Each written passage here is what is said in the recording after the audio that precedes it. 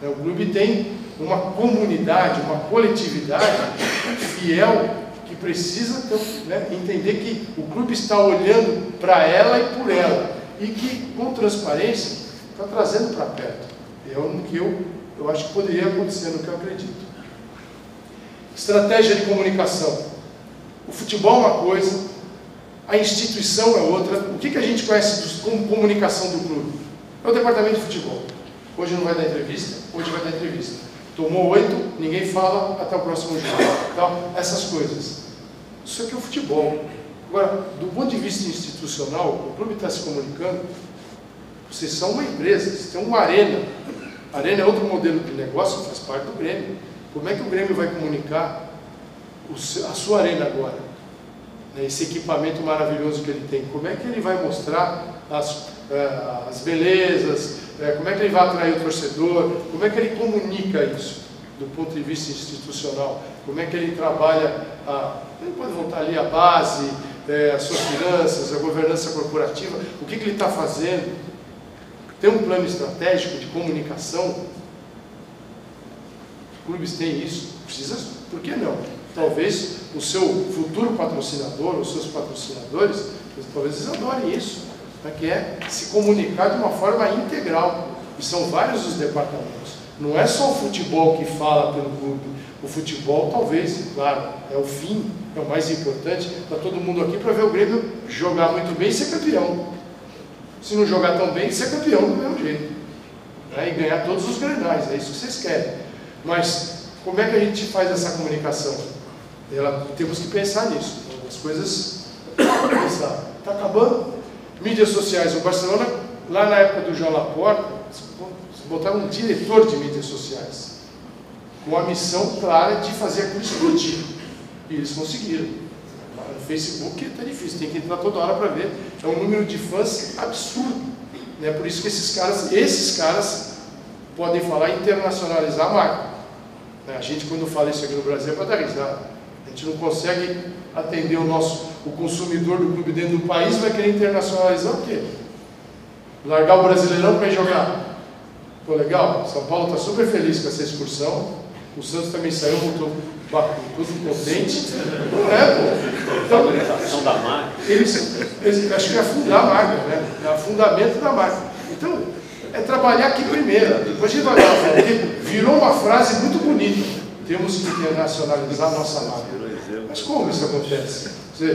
Será que o Grêmio já chegou a todos os torcedores no estado do Rio Grande do Sul? Será que ele tem uma, é, essa comunicação estabelecida dentro do estado e fora? E quem? Os outros das outras regiões. Quantos torcedores ele poderia conquistar no Brasil? Quantos? E ainda não foram tocados.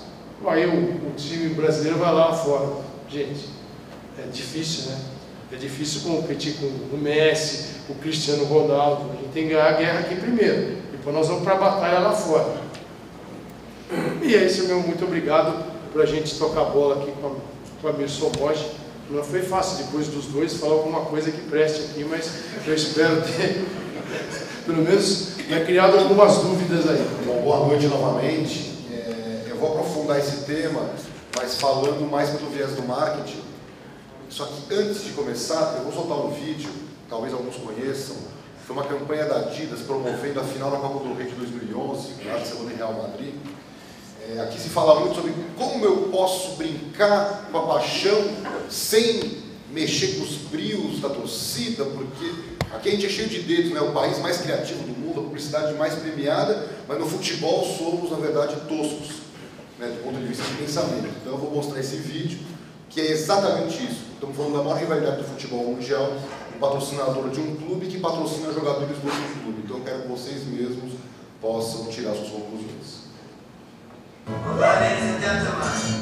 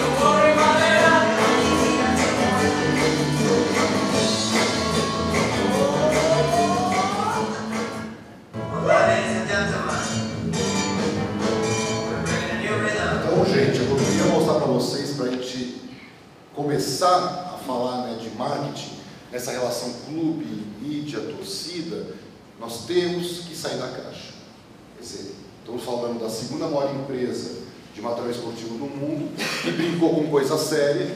Você tem o Messi vendo camisa do Real Madrid, não é pouca coisa.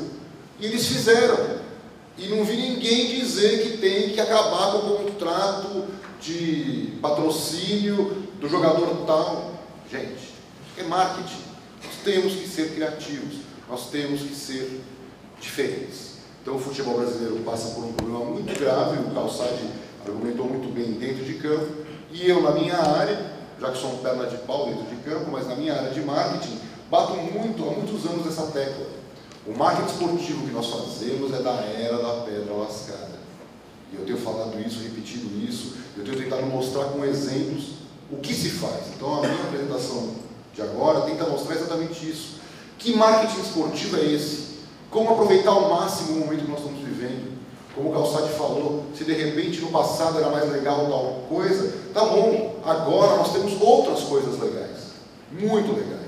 Se você pensar em mídias sociais, você pensar na relação com o fã, em como aproveitar essa cobertura de mídia intensa que os clubes têm. Então é um pouco isso que nós vamos poder discutir. Primeira questão é falar do futebol.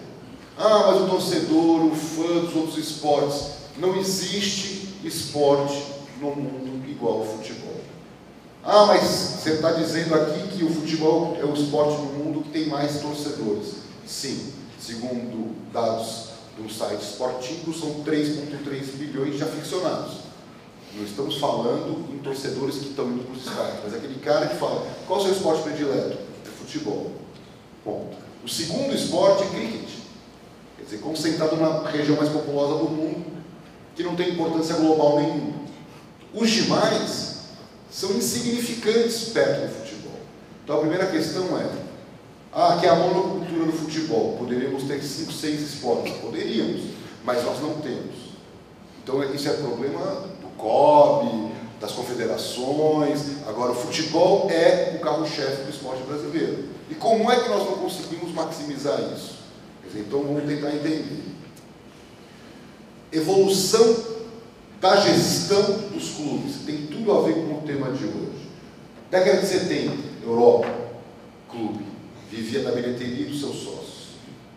E aí veio a revolução do futebol europeu, década de 90, modelo de gestão, clubes empresa, ações na bolsa, e aí se percebeu que isso era muito pouco.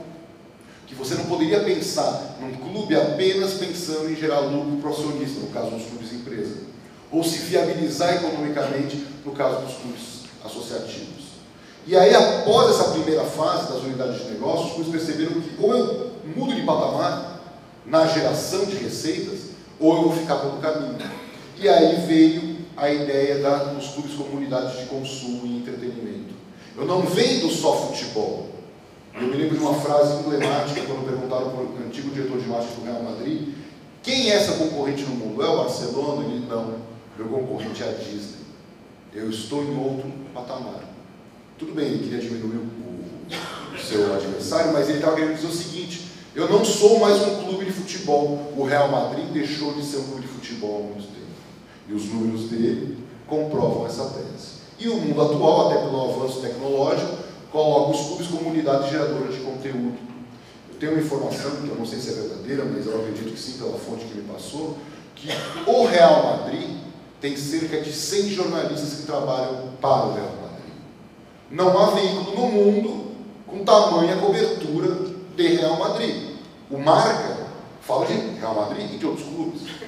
O AS fala de Real Madrid e de outros clubes, os sites e, e outros veículos falam. Quer dizer, ninguém tem mais informação que o Real Madrid. O Calçade sabe como que funciona na Europa hoje, você conseguir uma coletiva de imprensa. Eu tive informação que, por exemplo, na Euro, tinha veículo fazendo entrevistas com jogadores e guardando para usar durante o Campeonato Espanhol, porque já não tem mais acesso, eu já não tenho mais a informação que eu tinha. Então, é uma nova mídia. Então, isso podemos dizer se isso é bom se isso é ruim, vamos analisar. Mas os clubes brasileiros não entenderam isso. Então, eu não estou falando da transmissão da partida em si, mas do seu conteúdo audiovisual, quanto isso vale, quanto isso pode ser trabalhado em termos de comunicação. Voltando ao fã, por que eu estou fazendo esse link? Porque eu quero tentar mostrar a importância do clube na relação com esse fã. Segundo dados do IBOP, como eu falei, o futebol é o esporte principal do mundo e também no Brasil. Quer dizer, 79% dos homens dizem que praticam futebol. No caso das mulheres, 22%. Ah, mas isso não me interessa. Vamos falar então do futebol mídia, futebol exibição. Bom, 93% dos homens dizem que acompanham, acompanham futebol pela mídia. Pasme, 75% entre as mulheres. Então aquele papinho de que o vôlei é o esporte predileto das mulheres é a maior mentira que já foi contada. Estão querendo negar as pesquisas. O esporte predileto das mulheres brasileiras é o futebol também. Então eu queria mostrar para vocês um dado que eu acho muito legal, falando da prática, porque a prática está muito ligada também ao consumo.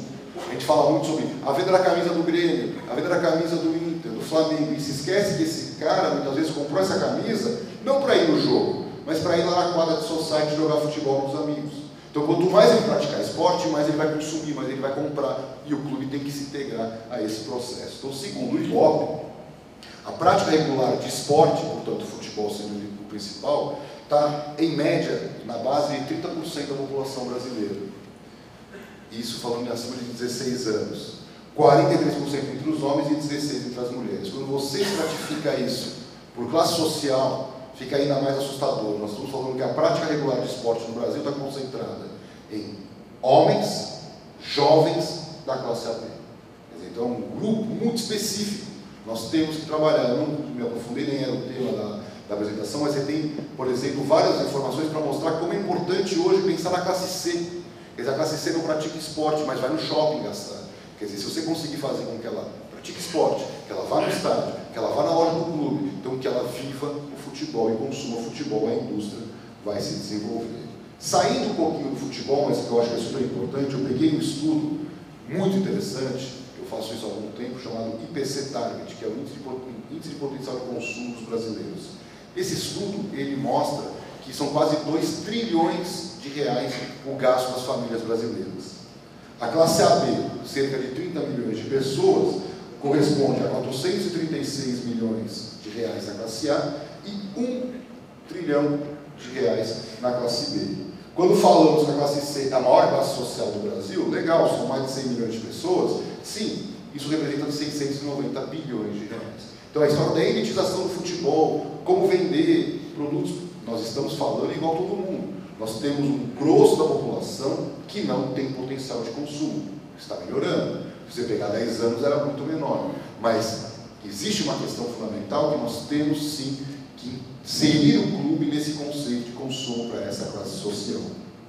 E o outro aspecto, eu peguei dados que estão muito ligados às marcas dos clubes, que são dois mercados específicos: venda de calçados e venda de, de vestuários. Calçados, 31 bilhões de reais por ano, sendo que a venda de tênis está na casa dos 8 bilhões, e vestuários, 79 bilhões de reais. Quando você vê quanto é que os clubes faturam desse montante, insignificante. Então nós temos que pensar nesse aspecto também.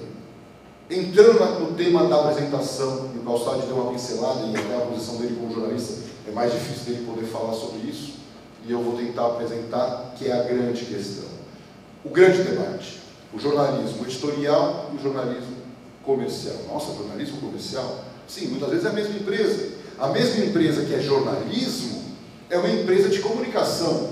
Então, o veículo tem que sim que ter independência editorial. Eu defendo isso e estou assustado com a crise do mercado de mídia, de como isso interfere.